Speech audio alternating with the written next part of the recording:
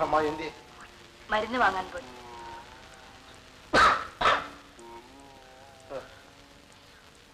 Ration വാങ്ങാൻ വെച്ച കാശും കൊണ്ടാ പോയത്. മോൾ വടക്കെതിൽ ചെന്ന് ബാബുവിന്റെ അമ്മച്ചിയോട് പത്ത് രൂപ തരാൻ പറഞ്ഞു.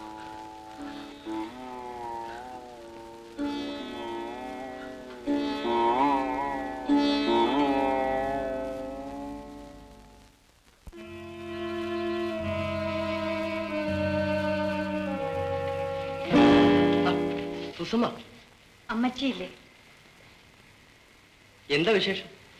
അമ്മച്ചി ഒന്ന് കാണണം അമ്മച്ചി അകത്തുണ്ട്. ഇരിക്കൂ. എവിടെ അമ്മച്ചി? എന്താണ് ആവശ്യം? എന്നോട് പറഞ്ഞൂടെ നിങ്ങളോട് എനിക്കൊന്നും പറയാനില്ല.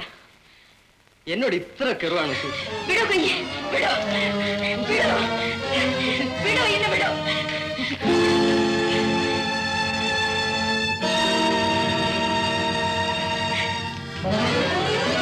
സുഷമ അമ്മച്ചിയോട് പറയല്ലേ? ക്ഷമിക്കണം. അമ്മച്ചി എന്താ സൂസമ്മേ? പത്ത് രൂപ തന്നേക്കാൻ അച്ചാച്ചൻ പറഞ്ഞു. രൂപ കൊടുത്തു. ഞാൻ ഉണ്ണുണ്ണിച്ചനെ കണ്ടിട്ടാ വരുന്നത്. ബാബുക്കുട്ടൻ അവിടെ ഉണ്ടായിരുന്നു? ഉണ്ടായിരുന്നു. ഞാൻ പോട്ടെ അമ്മച്ചി. എനിക്ക് നേരത്തെ സംശയം ഉണ്ടായിരുന്നു അവളെ ഒന്ന് ശാസിക്കണം. അങ്ങനെ ഒരു തെറ്റ് സൂസമ്മയുടെ പക്കൽ നിന്നും വരില്ല ബാബുക്കുട്ടന്റെ അമ്മ. ഉറപ്പിക്കണ്ട. നമ്മളൊക്കെ ഈ പ്രായം കഴിഞ്ഞ് വന്നവരല്ലേ? ആനിയെ പറ്റി പറഞ്ഞാൽ ഞാൻ വിശ്വസിക്കാം. ശരി. സൂസമ്മയുടെ കയ്യെ കിടന്ന വള എവിടെയെന്ന് ചോദിച്ചു? വളയോ? ഇതാ നോക്ക. മുറിക്കകത്ത് കിടന്നതാ. ബാബുക്കുട്ടൻ വല്ല കുശലത്തരവും കാണിച്ചതായിരിക്കുമോ? എന്നാൽ അവൾ എന്നെ കണ്ടപ്പോ പറയണ്ടേ? അപ്പോഴവളും കള്ളിയാ. ഞാനങ്ങോട്ട് ചെല്ലട്ടെ.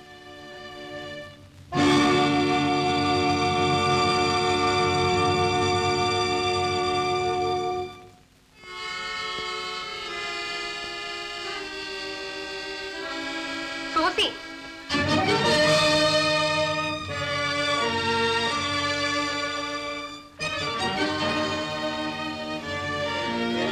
നിന്റെ വള എവിടെ? നിന്റെ വള എവിടെയെന്ന്? മതി. എനിക്ക് തൃപ്തിയായി തൃപ്തിയായി. നിന്നെ ഞാൻ ഇങ്ങനെയൊന്നും അല്ല വിചാരിച്ചിരുന്നത്. അമ്മായി ഞാൻ പറയുന്നത് കേൾക്കാൻ വേണ്ട എനിക്കൊന്നും കേൾക്കണ്ട.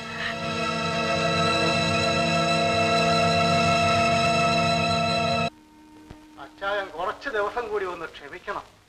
പറയുന്നതിന് ഒരു മര്യാദ വേണ്ടായോടാ. ആറു മാസത്തെ വാടക ബാക്കിയുണ്ട് നമുക്കുള്ളവനാണല്ലോ എന്ന് കരുതി ഇത്രയും ക്ഷമിച്ചു. ഞാൻ ഒരു മര്യാദ കേടും ചെയ്തിട്ടുള്ളവനല്ല. അച്ചായൻ അറിയാമല്ലോ. എടാ പഞ്ചാര വാക്ക് പറഞ്ഞാൽ വയറ് നിറയത്തില്ല. അവനവനെ അറിഞ്ഞ് ജീവിക്കാൻ പഠിക്കണം. അതെന്താ അച്ചായൻ അങ്ങനെ പറഞ്ഞത്? എടാ തന്നെ നടക്കാൻ വയ്യാത്ത നീ എന്തിനാ പെങ്ങടമകളെ കൂടെ വിളിച്ചോണ്ട് വന്നത്? രണ്ടെണ്ണം ഒരുപോലെ അല്ലയോ കെട്ടിക്കറായി നിൽക്കുന്നത്? അച്ചായൻ അക്കാര്യത്തിലൊന്നും വിഷമിക്കും. അച്ചായനെ ബുദ്ധിമുട്ടിക്കാൻ വരുന്നില്ല.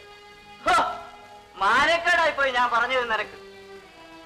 ശരി ഒന്നെങ്കിൽ എന്റെ പണം തരണം അല്ലെങ്കിൽ വീട് ഒഴിഞ്ഞു തരണം. പറഞ്ഞേ.